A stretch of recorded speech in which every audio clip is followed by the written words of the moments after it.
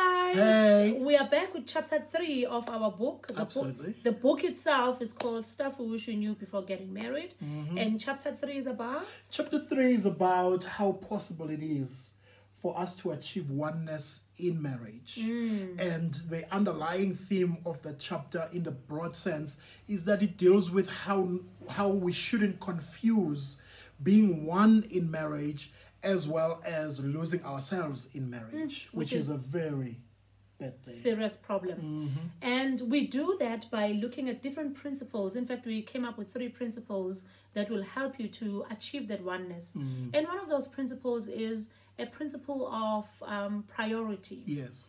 Um, priority basically meaning you are exclusive to that one person. Um, this talks more about leaving. You know, when the Bible says a, a man shall leave um, his mother and father and cleave, you know, um, this principle sto- talks about that leaving. Yes. You know, when when you leave, it means you prioritize your partner in such a way that that you leave the past behind. You know, you leave all the things that will affect your journey towards oneness. and stuff that will affect your your your cleaving. And that's what the second principle is about. Second principle is about what we call the principle of chasing uh, or um, it, it deals with the concept of pursuit uh, of pursuing your spouse.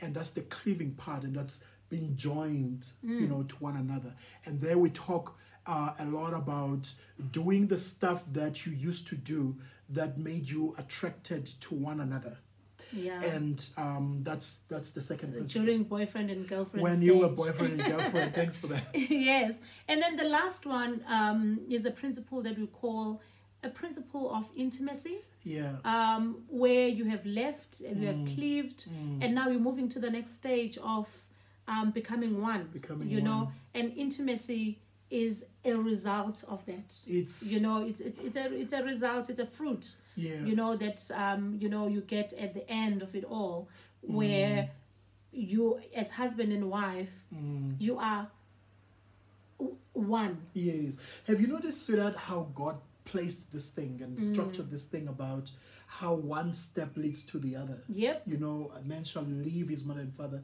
then number two shall cleave into his wife and then number three shall become one. It's almost like it's automatic Yeah. you know and also you yeah it's it's almost the way i see it you can't achieve the third step without the second. getting the second one and you or can't starting achieve, at the first and you can't achieve the second without the first, That's you actually know? so wonderful.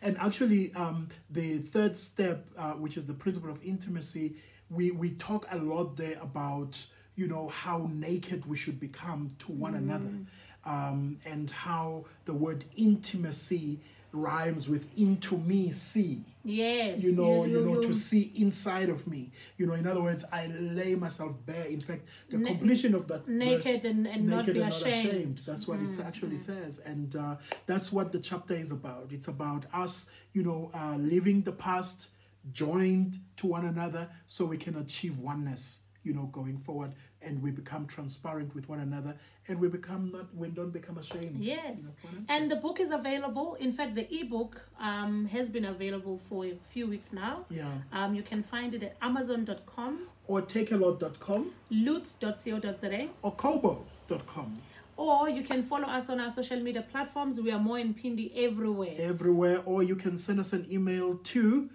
info at moandphindi.com thank you so much for being with us. Goodbye. go get yourself a book.